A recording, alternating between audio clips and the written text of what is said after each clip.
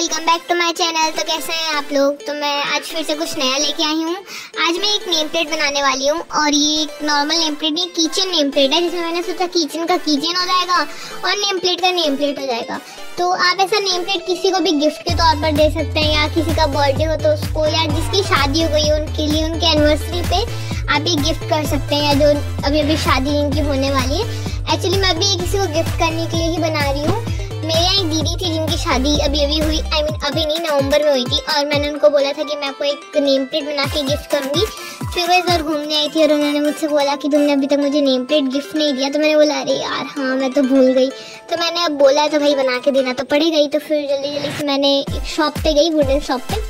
And वहाँ पे मैंने उनको अपने मन से, आपको जिस भी साइज़ का चाहिए, आप उस शॉप पे बता के ये खरीद सकते हैं। मुझे इस साइज़ का 400 के आसपास पड़ा। अब आपकी जो भी नियर बाय शॉप है, आपको वहाँ पे किस प्राइस का मिलता है, आप वो देख सकते हैं। हर साइज़ का आई थिंक अलग अलग प्राइस होगा।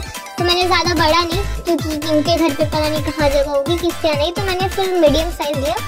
एंड ये M D F cardboard wooden board है। मैंने इसको पेंट करके चिपकाने की सोचा तो मैंने इसको ऑनलाइन ऑर्डर किया था। एंड इसको फुल पेंट करने की वीडियो मैंने यूट्यूब पे अपलोड की हुई है। उसका, इसकी लिंक मैं आपको डिस्क्रिप्शन में दे दूँगी तो प्लीज़ उसको भी पूरा देख लेना अगर आपको इसकी पूरी डिटेल्ड वीडियो चाहिए। एंड उस वीडियो में इसको बाय करने का लिंक भी उसमें मैंने डिस्क्रिप्शन में दिया हुआ है। तो एक बार चेकआउट कर लेना। तो फिर मैंने इसको बनाना स्टार्ट कर दिया एंड इसको पेंट करके मैंने जल्दी जल्दी फिर मैंने सोचा कि आ, मैं इसको पेंट करके क्या करूँगी? तो फिर मैंने सोचा क्यों ना एक घर बनाऊँ। उसके अंदर इसको रखूँ। तो मेरे दिमाग में ऐसी कुछ क्रिएटिविटी चल रही थी कि कुछ तो ऐसा करना है। मतलब कुछ तो यूज़ कर लेती हूँ। मैंने इसको कब को ऑर्डर करके रखा हुआ था तो मैंने सोचा चलो इसको एक बार यूज़ कर ही लेती हूँ।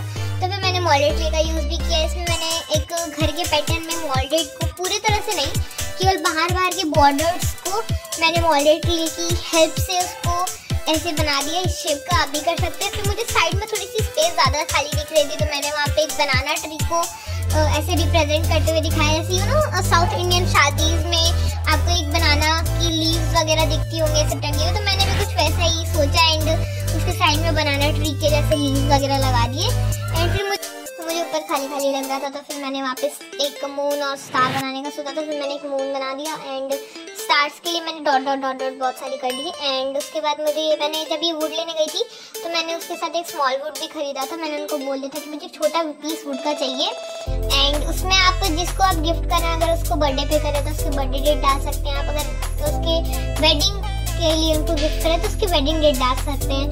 एंड मैंने इसको ग्लू से स्टिक कर दिया, फिर मैंने ग्लू का यूज़ किया मेरे को पहले लगा कि कहीं ये बाद में निकलना जाए फिर मैंने सोचा, नहीं नहीं, निकलना तो नहीं चाहिए फिर मैंने ऑनलाइन ये लेटर्स ऑर्डर किए थे तो फिर मैंने उस लेटर्स से जिनको मैं गिफ्ट कर रही हूँ, उनके नेम्स को मैंने इस पैटर्न में रख दिया। एंड मैंने कुछ साइज़ को बड़ा एंड छोटा ऑर्डर किया था, उस हिसाब से मैंने फ़र्स्ट लेटर को बड़ा किया एंड बाकी इसको छोटा कर दिया। एंड मैंने ऑनलाइन कुछ ऐसे ऐसे रैबिट्स मंगाए थे तो फिर मैंने सोचा कि मैं इन्हें भी चिपका ही देती हूँ। एक्चुअली मैंने इनको होम डेकोरेशन के लिए मंगाया था, फिर मैंने सोचा चलो यूज़ ही कर लेती हूँ अच्छा लग रहा था, क्योंकि फिर वहाँ पे खाली हो जा रहा था। तो फिर मैंने उसको ग्लो से स्टिक कर दिया एंड फिर इसका लुक ऐसे आने लगा। ये बहुत क्यूट और प्यारा दिख रहा था तो मुझे बहुत पसंद आया कि फाइनली कुछ अच्छा बना। मैं देख रही हूँ आप लाइक कमेंट और शेयर करना बंद कर चुके तो प्लीज़ ऐसा मत करो, जल्दी जल्दी लाइक करो सब्सक्राइब करो शेयर करो please like subscribe and share comment करना मत भूलना।